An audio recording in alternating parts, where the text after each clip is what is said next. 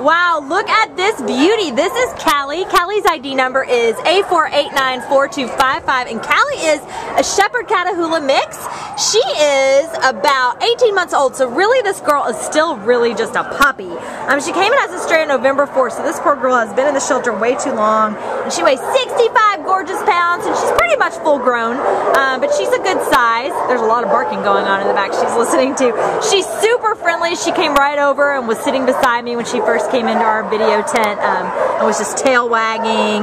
Um, she met some kids earlier out and about and was kissing all of them, all of the little kids that she met. Um, she's super attentive and smart. Um, you know, she's got her typical shepherd qualities. Um, she, you know, seems to be ready to listen, eager to please.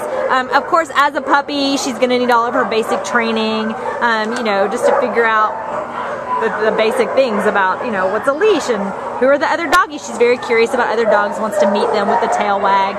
And um, she's just going to be an amazing, amazing doggie to have in your home. Yes, what you, are you listening to things? Do you hear other things? Um, so if you are looking for, you know, a good medium-sized dog, a good medium-sized puppy, this is a fabulous, fabulous girl, and she would love to go home with you from the Baldwin Park shelter. She says, I have been here for two months. Let's go home, right, Callie? All right. So come on down and meet her today at the Baldwin Park shelter. Bye, Callie. You are such a beauty.